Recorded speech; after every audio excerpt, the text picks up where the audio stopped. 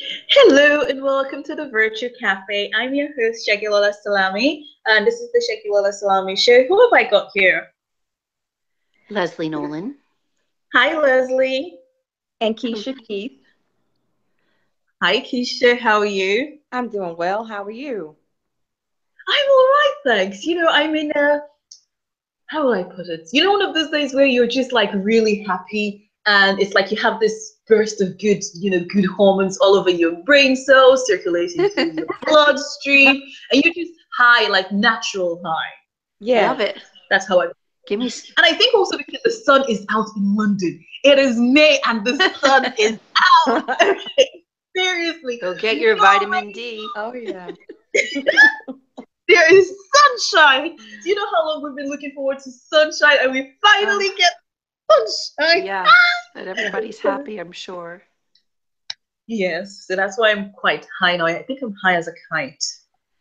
That's nice. Yes, that's an awesome mm-hmm. feeling. Yes. And I don't do drugs. so I'm just like natural high.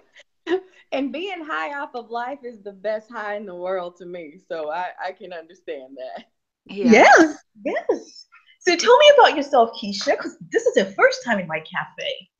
Yes, and I, I'm so excited to be here um, and to have this opportunity. Once again, I said um, before, my name is Keshia Keith. Um, I am a licensed professional counselor, so I provide uh, mental health counseling services uh, to various clients. I'm a military spouse, um, a mother, and so that means that I I've you know, traveled a little bit and I come in contact with a lot of people. Uh, throughout my journey, I've experienced some some highs and some lows, but they have all created and brought me to the space where I am today. And so I'm excited about that. Um, and I'm also a new author. Uh, I've self-published um, my book called The Classroom of My Life, and, and it talks about my personal spiritual journey um, in dealing with postpartum depression. Um, and that actually landed me uh, in, in the psychiatric ward uh, for, oh, wow. for a while. And so it, it really was a, an educational and an enlightening experience for me because I was going through uh, finishing up my um, graduate school program. Uh, and at the same time, I was going through the experiences that a lot of my clients would, you know, go through. Uh, as a result. So it, I feel like it has it has blessed me um, and afforded me the opportunity to be able to to share and understand. And and we walk in different shoes, but understanding the steps that we take um, is important. And I think my life journey has has given that. Beautiful. Beautiful. Now, just to just to before I even say anything, you know, I've been staring at your pearl, and I just have to admire it. well, thank you. I am a fan of pearls, and and I I like that particular set um for sure. Uh, every chance I get, I try to put those on. very very lush. I really do like that. I don't have. I think I had pearls once, but it's just something that when I was in uh, when I was at university, I always see people with pearls, and I think, oh, they're very glamorous and very classy. And so every time I just see pearls now, I just stare at them so much, and it's like it was just it was just mm. mesmerizing my eyes, just capt- captivating my eyes. Yeah. Well, thank you. Cool. So, Leslie, what about you? What do you do? So, I have had 32 years in graphics and marketing, and my last six years, I am now focusing on working with creative entrepreneurs who have lost their mojo and inspirational vision. And I help them reclaim their power so that they can find the courage to create their great work. Cool. Can you just explain that a bit, please? Because I think you've lost me. Um, what I would like to explain about it is it's through the magic of painting. So okay. usually creative entrepreneurs can tend to speak a different language. They might be very visual.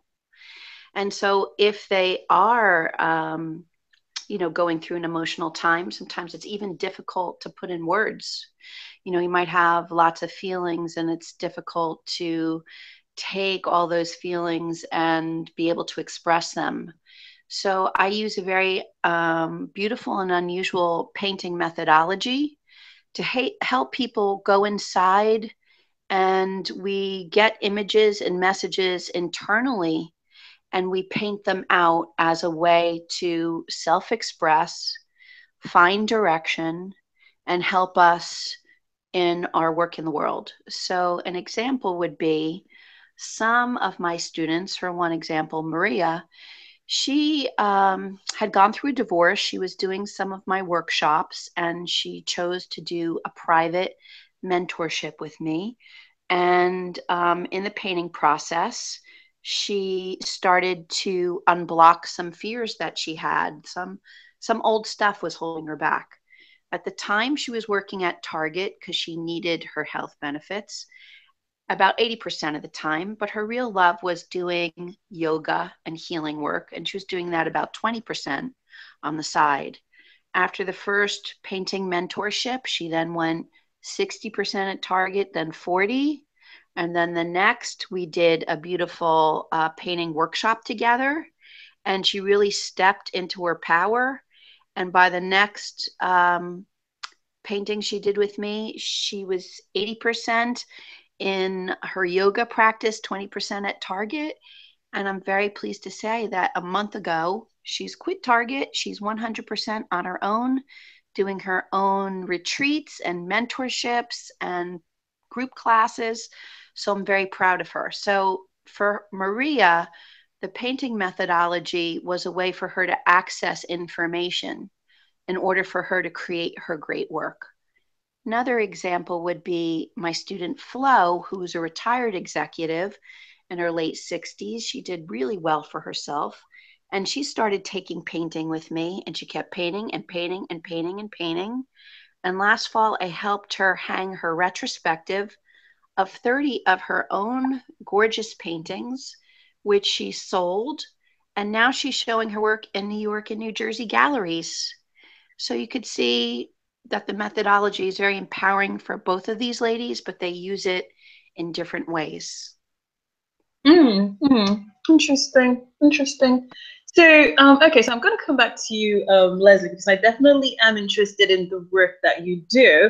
But then it's kind of I'm also interested in the, in the work that um, Keshia does. Um, so it's kind of like, who do I start with? Okay, Keshia. So you're an author. Tell me about your book, please.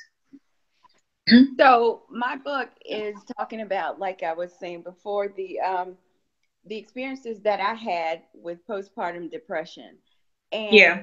in in that sense, um, all of the the physical things that I was going through, uh, I pretty much knew them from you know my coursework in grad school, but it all pretty much caught me by surprise because of I was I was really checked out. I was checked out on on my own personal self care and being in tune with what was going on with me.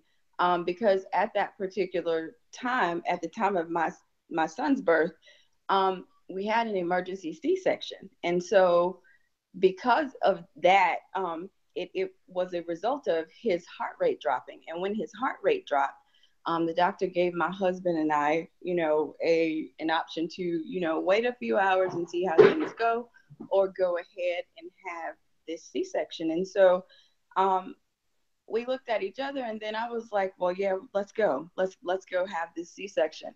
Um, and so through that through that process, uh, our son was born. But of course, you wait on that magical cry because, of course, on you know different um, birthing stories and things you hear and you see, you know the responses and the reactions um, of the infant as it, as it comes into the world. And so uh, we didn't hear that, and that event sparked a lot of different emotions um, for really for us both. But but in my case, I really was um, internalizing a lot of it, and so it it started to to really show once my son was able to come home from the hospital because like he was one of the he was the largest baby in the NICU at that particular time um, as a result of of that whole process and so I really was not the the awareness and the the being in those moments and and expressing that emotion um it really was not there for me yet.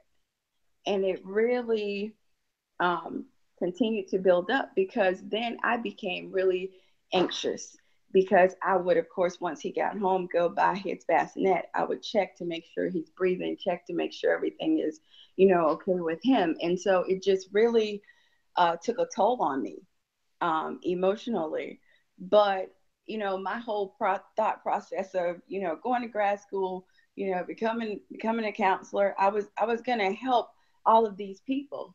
But you know, these these people became me, and and I, you know, I was that person who had experienced pretty much that traumatic event and that event had sparked and spiraled me into um, pretty much a, a, psychotic break as you were. Um, and so it, it really, my book details a lot of the spiritual journey that I went through because I really had to uh, rely on, on God and all the spirituality um, that I knew to be able to do the things that were necessary to become whole and to, to cope and to identify and and to create that balance in life for myself. Okay fabulous. So now you mentioned that you self-published your book. Yes. Did you design the book cover yourself um, or did you get someone to do it? Someone actually did it but i described everything that i um, wanted. The so what sort of things sorry go on. I'm sorry no, I was just going to ask, what sort of things um, would you want to see in the book cover? Well, because I was learning some life lessons um, in the midst of being a student, uh, my my title I wanted it to speak on my cover. So mm. I wanted there to be a student there, um, sitting in the classroom, kind of in the dark, because at that in those at those moments I was feeling my way. So I wanted that student to kind of be in the dark, but the light to really be flashing and shown on that that chalkboard within the classroom. Because that that was that was life and that was life playing um, for that student and teaching that student a lot of things that that she needed to know. And of course that student was me. So um, I just I described that in detail uh, with my designer, and they were able to from that um, produce the cover for my book. Okay, and so okay, but I'll come back to you in a second, Leslie. Yes. As a, as a graphic designer, you know, you've listened to um, Keshia's um, description of her book and how I think it's a very important you know topic because you know there are moms all over the world and you know postpartum depression in fact a lot of the postpartum quote unquote you know um, effects is not something that people tend to discuss a lot and i think postpartum depression is one of those really important ones you know because people automatically think that when they hand you your baby you know you automatically feel you know filled with love and just you know singing rainbows and being like a unicorn so mm. if someone comes to you and has this book that's talking on this topic you know yes the author wants it because you know it's a personal journey it's personal to them and they want to be happy to you know with it mm-hmm. but you know for me i think that a book a blog a website that nobody reads is a diary right so you know and people still as much as we say don't judge a book by its cover people sadly still judge a book still judge books by their covers. Mm-hmm. So when somebody, you know, like Keshia is explaining to you her book, how would you try and put, you know, the emotions that she's feeling into the book cover so that when someone is glancing, you know, um, a bookshelf and, you know, they might give each book, you know, the 10, what am I saying? They might give each book a two second glance. Mm-hmm. How do you make sure that it captures the interest of a potential reader? That's an excellent question. So the first thing is uh, really listening deeply to Keshia's story, because as she's telling her story, you know, I think to myself, what, what, what would have that been like for me? So um, I am a mom, but mm. I have adopted my son. So I didn't go through all of the physical, hormonal, um, and stress on the body and the mind and the spirit of my body, though I was pulled in in different ways. I think about Keshia and her story and how you had to deal with hormones and and worry and anxiety and all those emotions. So I, I get the sense that it's a very emotional experience. So I would then start to ask Keshia some questions as a designer. It would be either I would want to read an excerpt of her book or read her book because I would like to get a sense of her journey and how she came out of it and what her ultimate um, message is at the end of this spiritual, emotional, physical journey that she had through this process. So I may also ask frequently, you know, the authors of the books have an image or a symbol. Sometimes it's a symbol that might be something as simple as a rose, you know, if their book is about, you know, love, um, or there might be some symbol that she may have uh, grasped on in her writing. And I might explore that with her, or she might have a very specific idea of what she would like on her book cover. So I would explore some of those themes with her first. And then I might suggest some other ones by reading through the book. Might be something that um, might be an analogy to some wording that she had and how she phrased a paragraph. So it might be are we really talking about, you know, this journey of depression and the light of hope coming from it at the end? So I'd see what she wanted to highlight in there, and that could be done in so many ways. So then the next uh, thought would be once we got to the symbol or the image that we wanted for the cover, is how to convey that idea. Are we doing it in photography? Are we doing that in some kind of illustration? Is there some kind of portraiture involved with Keshia? Uh, so we might explore some of those themes. And then, of course, the title of the book is very important. The words, how you word something with your image, and then the fonts, of course, that are used. So there's so many different fonts that have so many types of flavors and how you're using the spacing and the elements of the photography or the image or the piece of art with the fonts and the layouts. These are all the things that convey the emotion, the emotion that's in the book, and the message that the author wants to bring out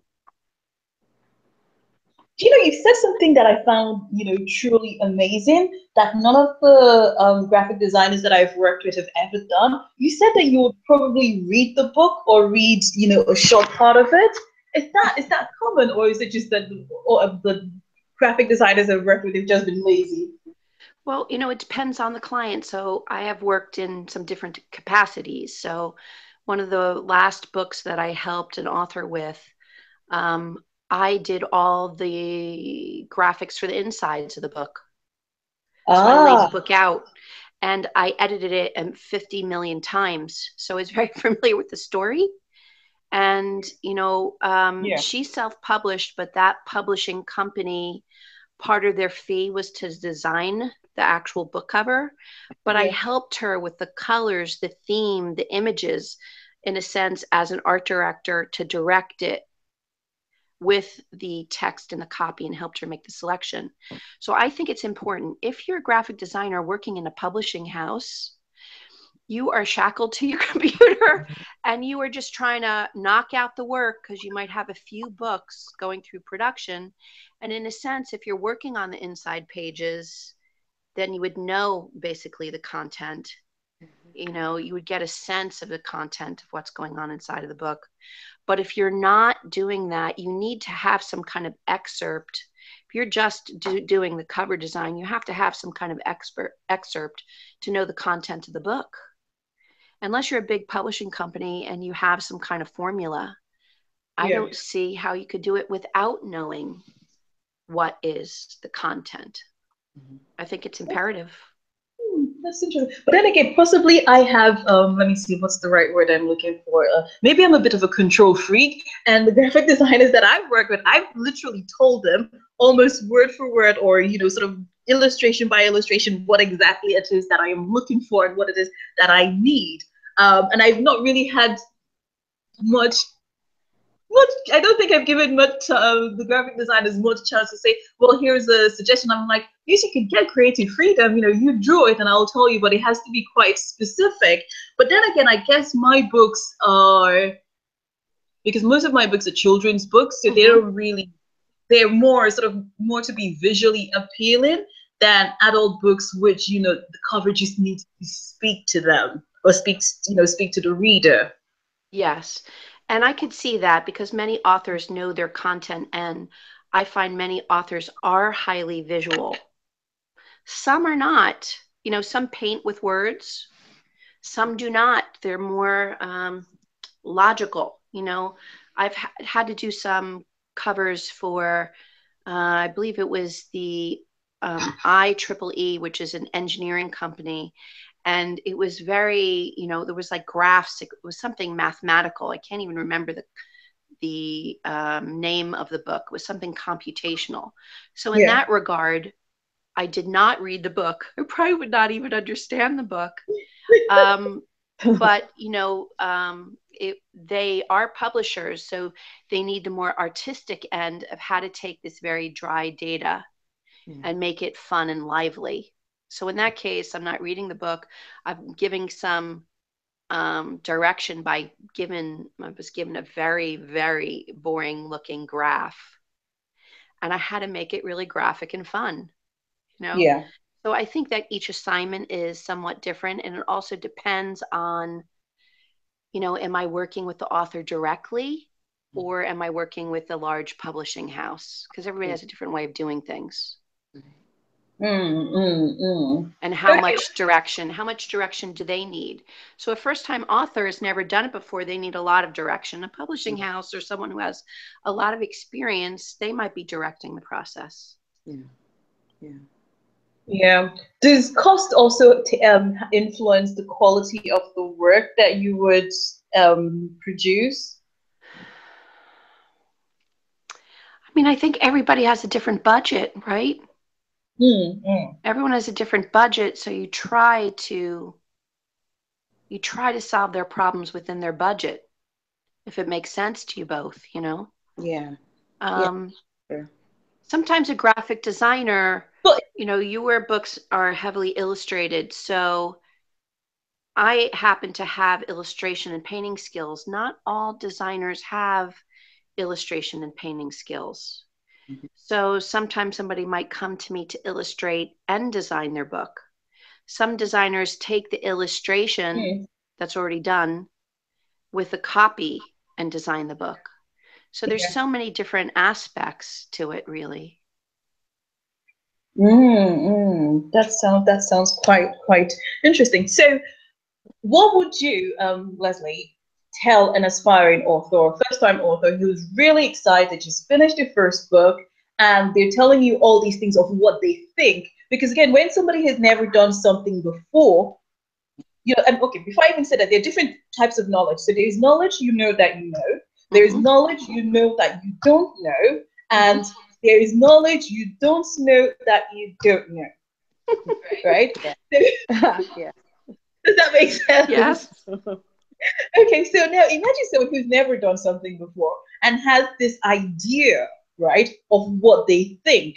Now, because they've never been in that industry before, they've never done anything before, and they got inspired by something or someone to say, you know what, let me write my book down, and they finish and they're very invested emotionally in it. And they come into you and they're telling you all these things, which in your professional experience as as a graphic designer is probably very unrealistic, right? Can, mm-hmm.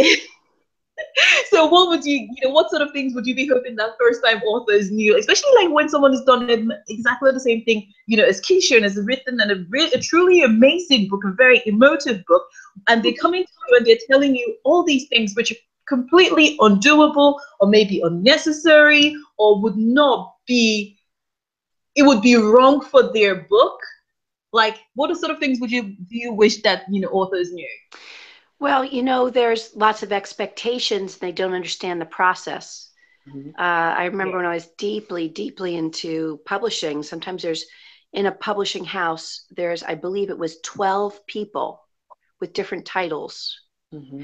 that would help to put a book together so now with self-published authors the designer the author everybody's wearing many hats yeah. So you really do, for first time authors, have to educate them on the process.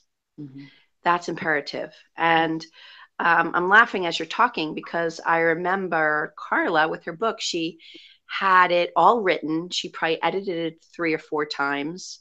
She had it all in, uh, it was like Microsoft Word, and she, um, you know, three hole punched it and she had it in a binder for me to see and I forget what the pricing was. It was many years ago. What I would charge her just for laying out, designing the book and laying it out. And she looked at me. She said, "But it's already done."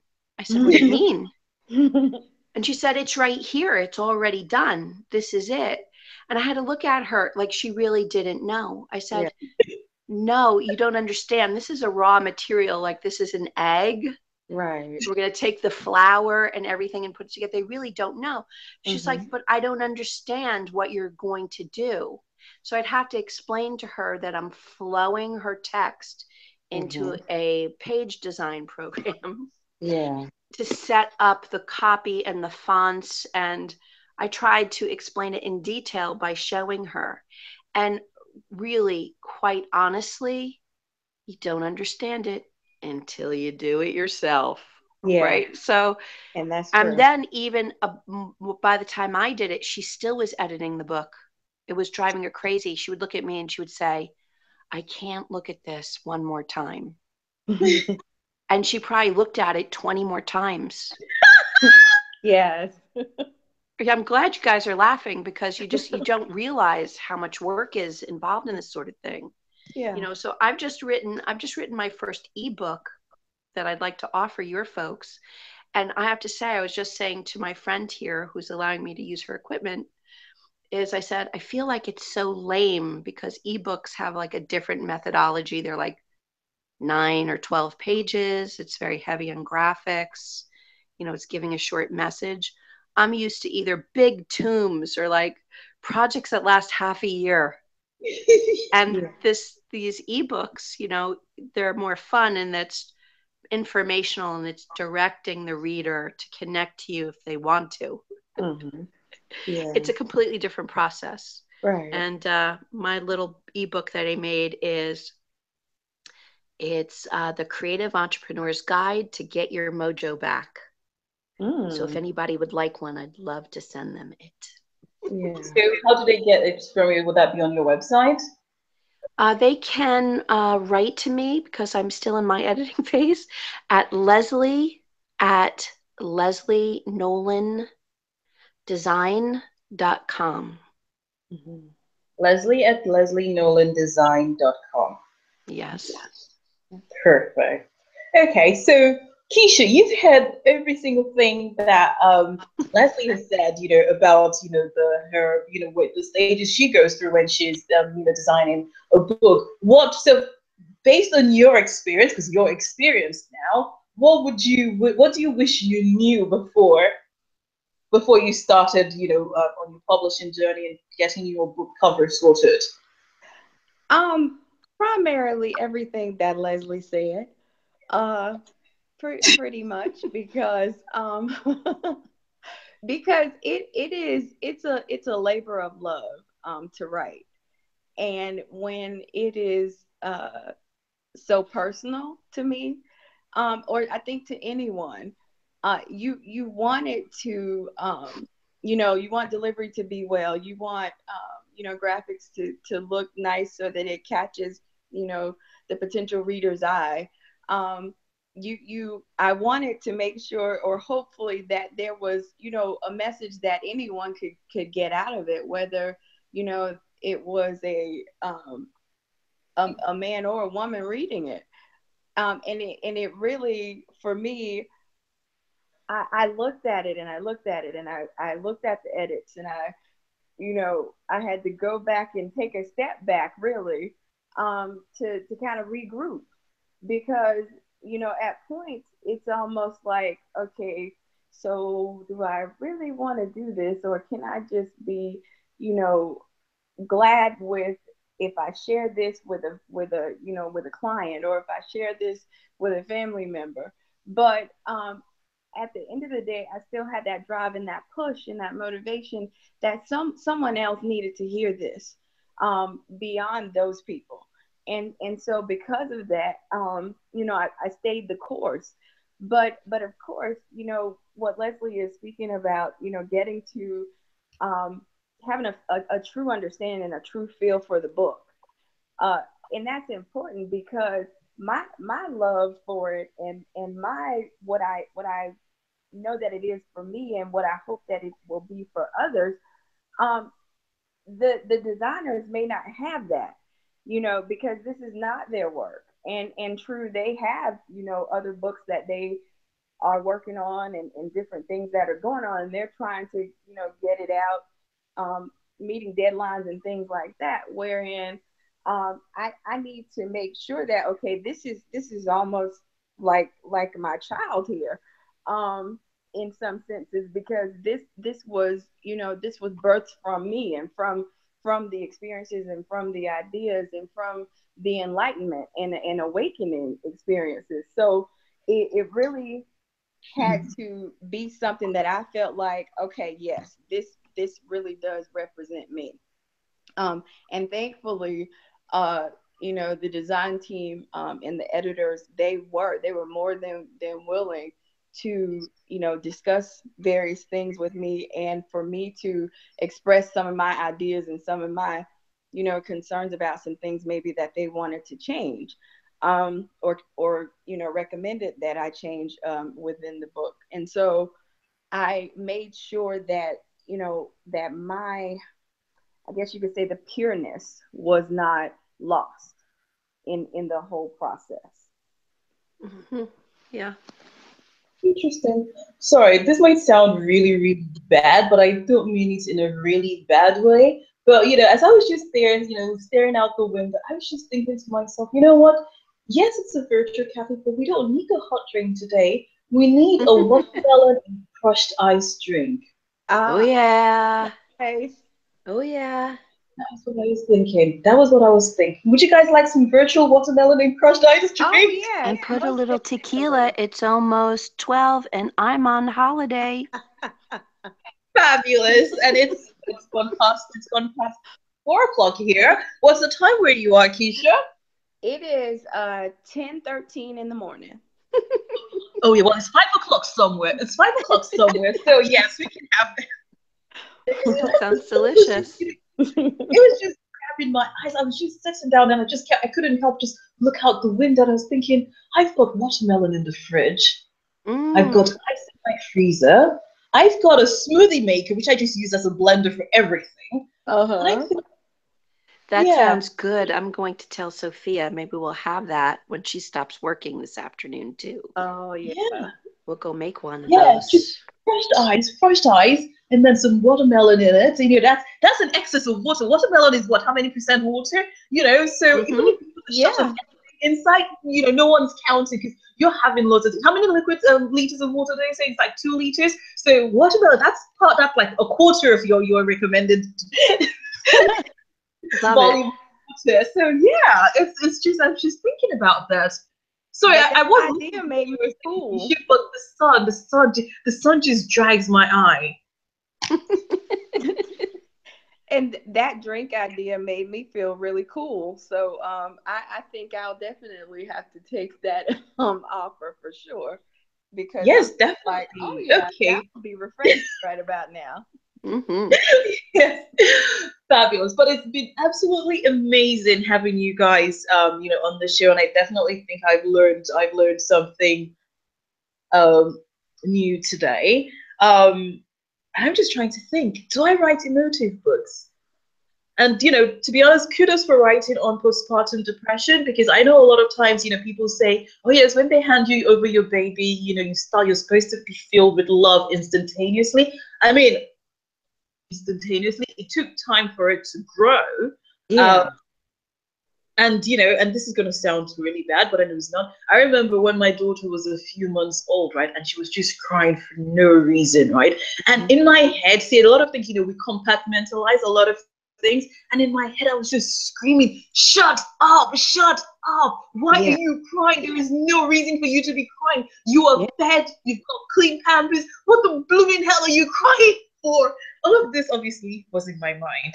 Yeah, yeah and and I, I would say don't feel bad about that because that that's a real experience and a real emotion um and and you're not alone in that mm-hmm. there there are are i would say thousands if not millions um of women who have experienced that same very same thing and and you know because you know a colicky baby uh it it it help it drives you. You're like, okay, God, I need some patience here, but this is doing too much right now. And so you you I mean, it's a real it's a real event and a real emotion. So I can definitely understand that and definitely relate to what you're saying.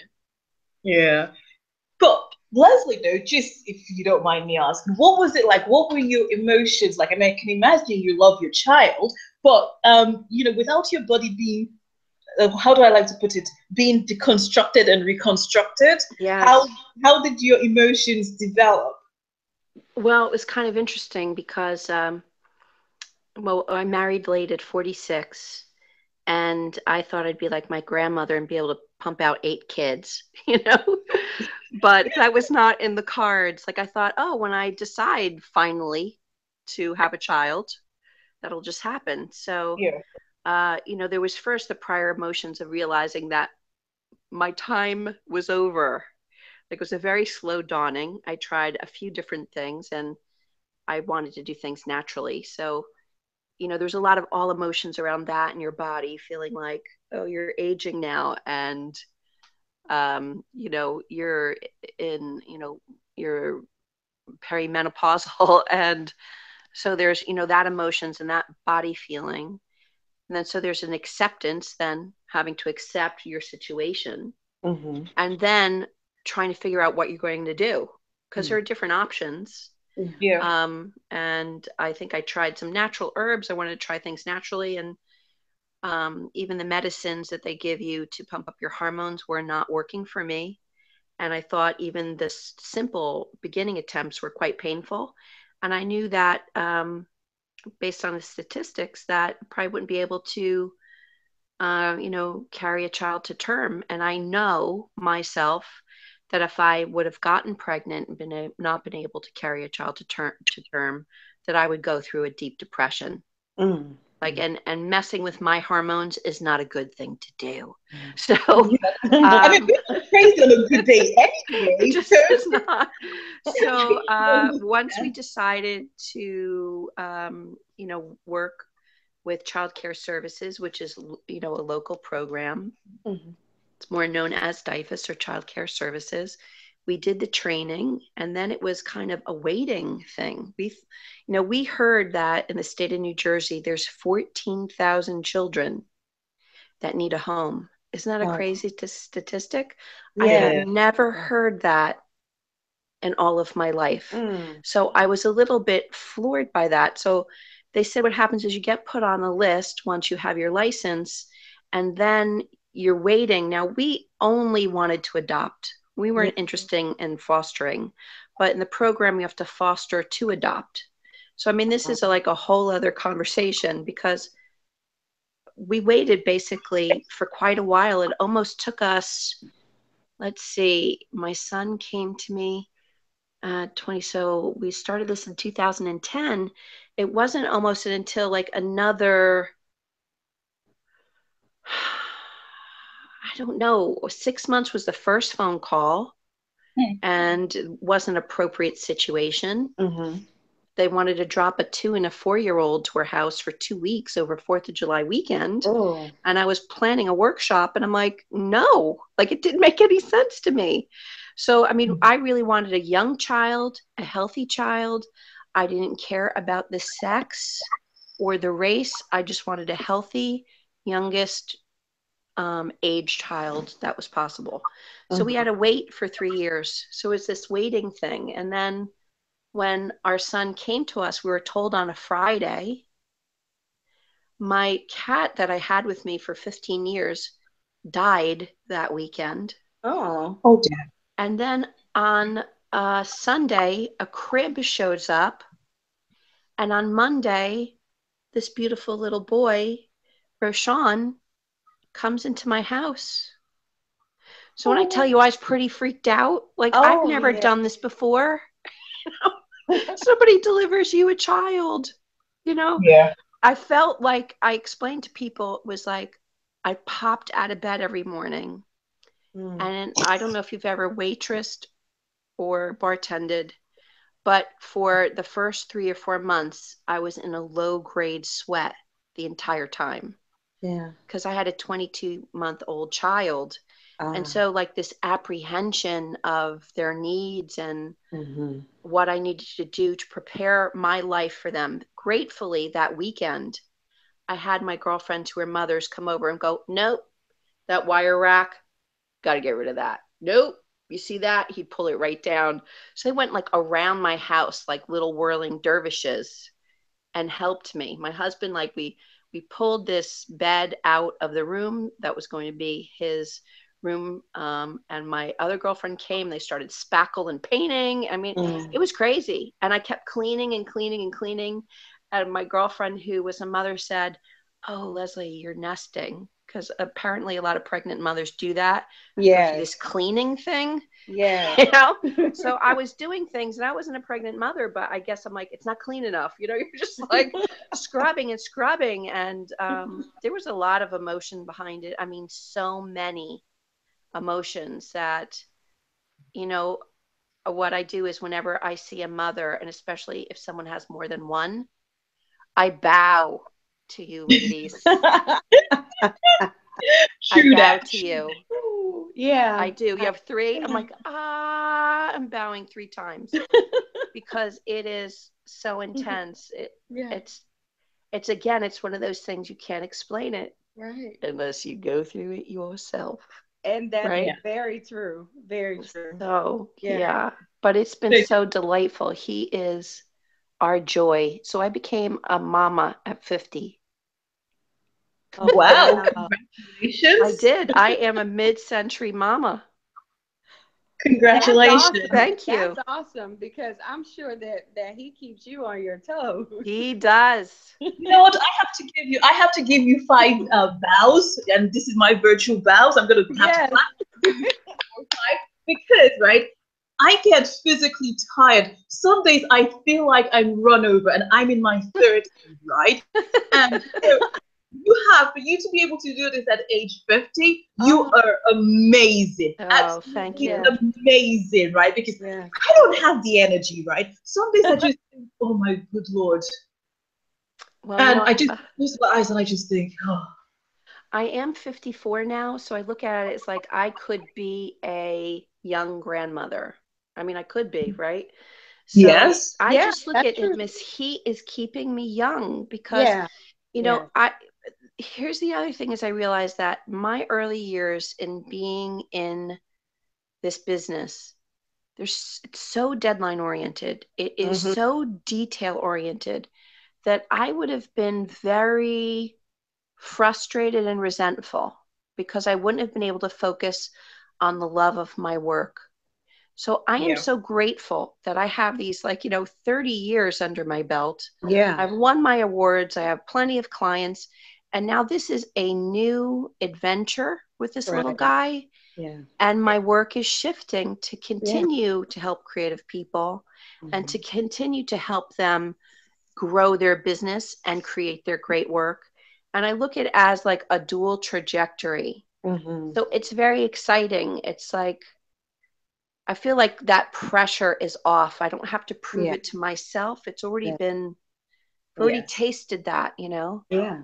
30 no so it, it, i'm glad that it's happening now yeah so, so really am. your time this is your time yeah. it was meant yeah.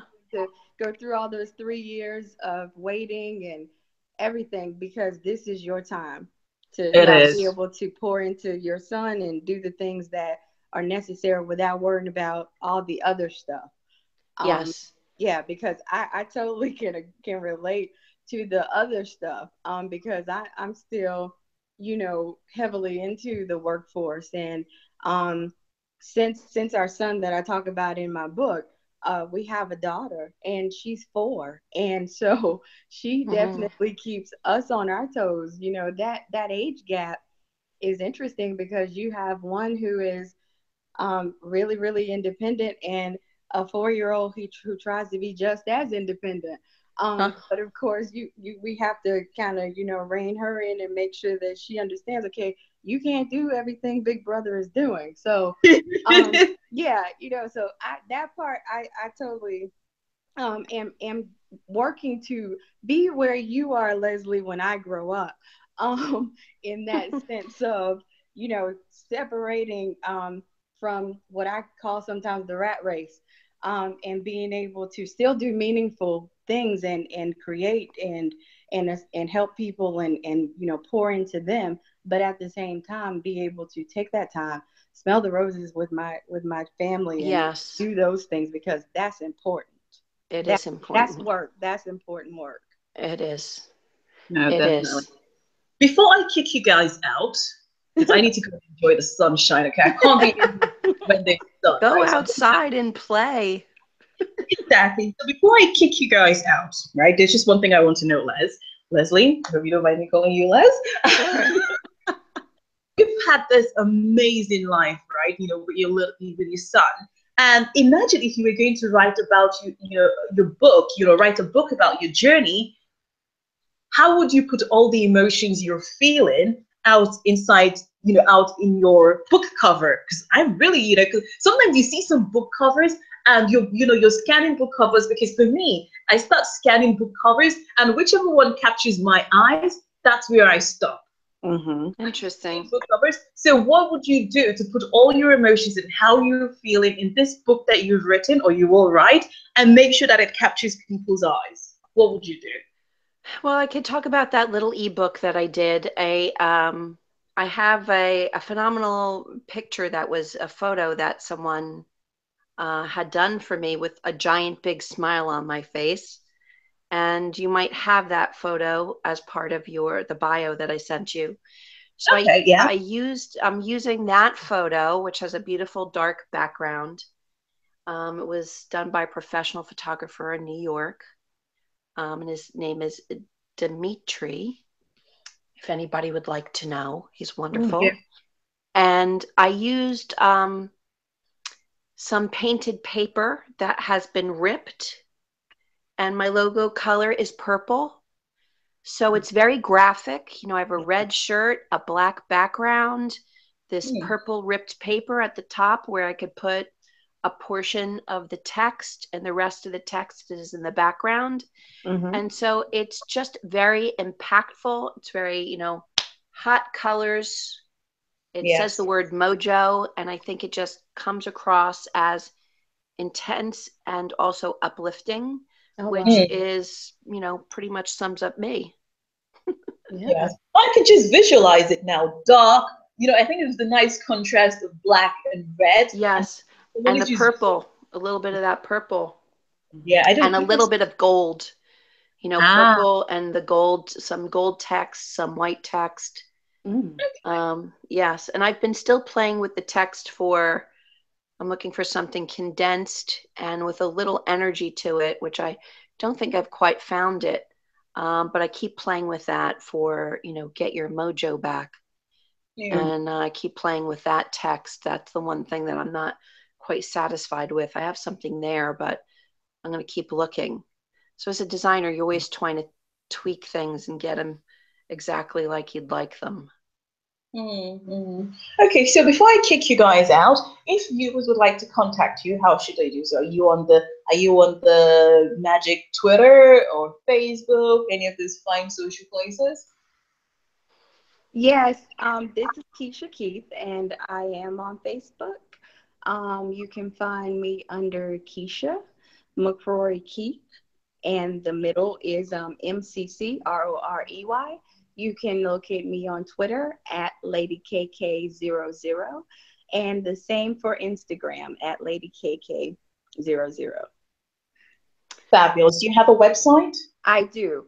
It is www.keishadkeith.com.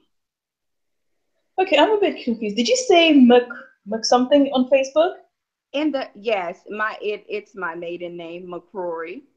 Ah, McCrorey. So what is the D on your website? Oh, that's actually my that's my legal name. Keshia D Keith is what my uh, book is under, and uh, the D ah. stands for Danielle. That's my middle name. Ah, right. Because I got a bit confused. I was like McCrorey, then D. Okay, fabulous. So yes. Keshia D Keith, right? Yes. Perfect. And how about you, Leslie?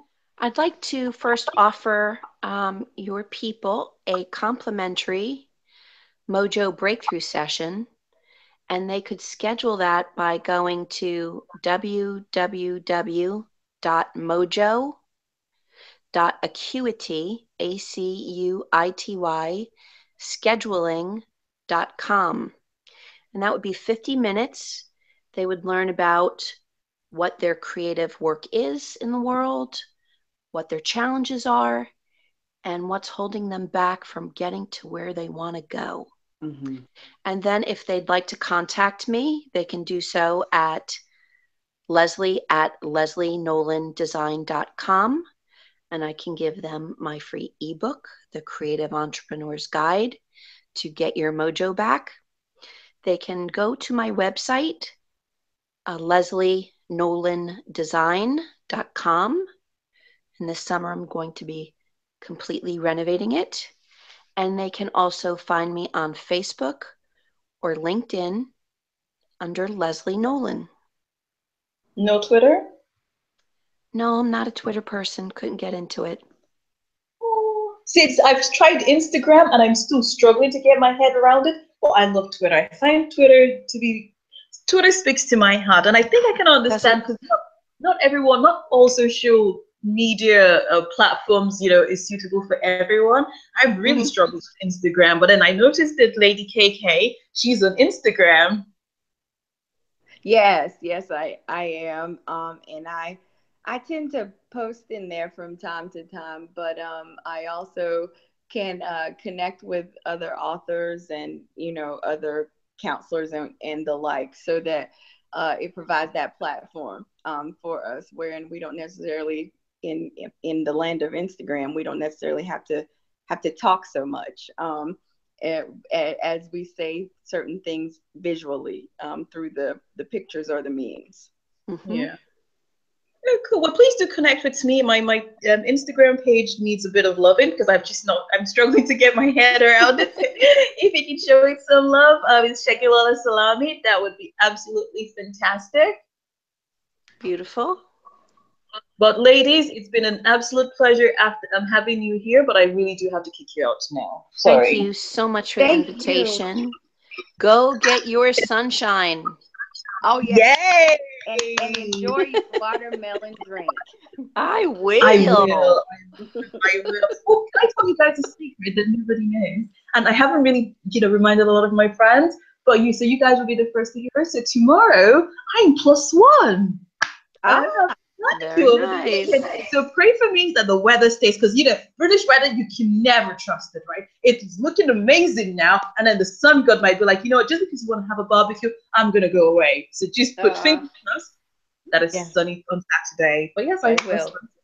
Yeah, you have a happy sunshine. Thank you very much. Okay, ladies, until next time. See you on the Segilola Salami show, and thank you for stopping by again. Thank you, thank guys. You. Thank Have you. a wonderful weekend. Bye. Bye. You too now. Bye.